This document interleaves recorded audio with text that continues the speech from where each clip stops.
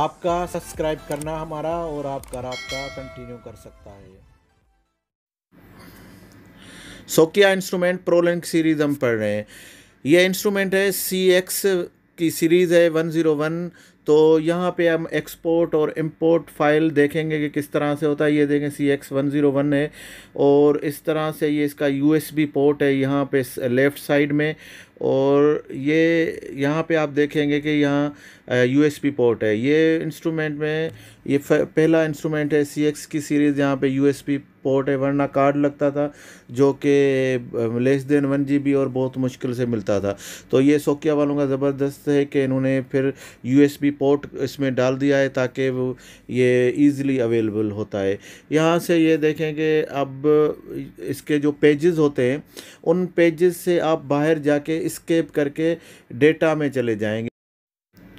यहाँ पे देखें लेफ़्ट साइड में डाउन साइड में स्केप का बटन है। जब आप स्केप को, इसको दबाएँ प्रेस करेंगे तो ये जो वर्किंग पेजेस हैं, उनसे बाहर निकल जाएगा और डेटा के फोल्ड पेज में चला जाएगा। डेटा के पेज में जाएँगे तो एफ़ टू के नीचे, यहाँ पे एफ़ टू जो लिखा हुआ है, यहाँ पे यू का ऑप्शन दिखा रहा है। यू के ऑप्शन जैसे आप प्रेस करेंगे तो ये टाइप ऑफ़ फ़ाइल मुझे यहाँ पे एस टाइप चाहिए तो यहाँ से एस टाइप यानी एस डी आर फ़ाइल मैंने सिलेक्ट कर दिया है।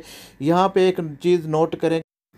यहाँ पे दो चीज़ें दिखा रहा है ऊपर टॉप पे। एक सेव एक लोड तो सेव और लोड में क्या फ़र्क है? अगर हमने इन यू में कोई चीज़ सेव करनी है, रखनी है तो उसको सेव का ऑप्शन पे जाएँगे।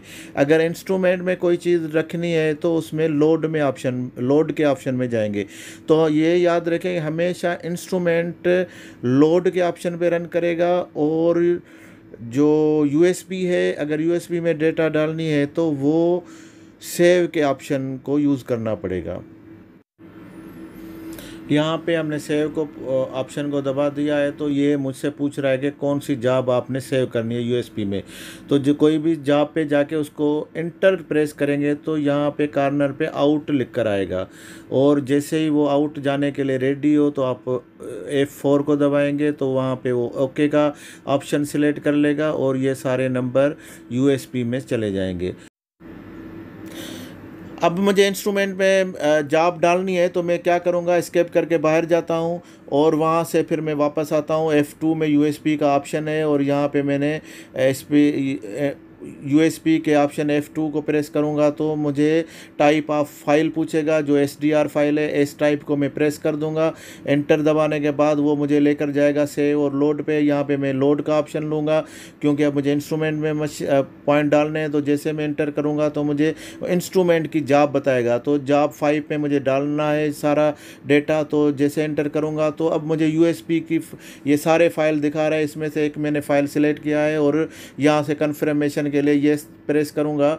तो ये सारी जाब अब वो एफ़ जो जाब फाइव मैंने सिलेक्ट की थी इंस्ट्रूमेंट की, वहाँ पे ये सारी जाब ट्रांसफ़र हो गई है। तो ये बहुत इजी प्रोसेस है इंस्ट्रूमेंट से और यूएसबी से एक्सपोर्ट और इंपोर्ट करने के लिए। आपका सब्सक्राइब करना हमारा और आपका रबता कंटिन्यू कर सकते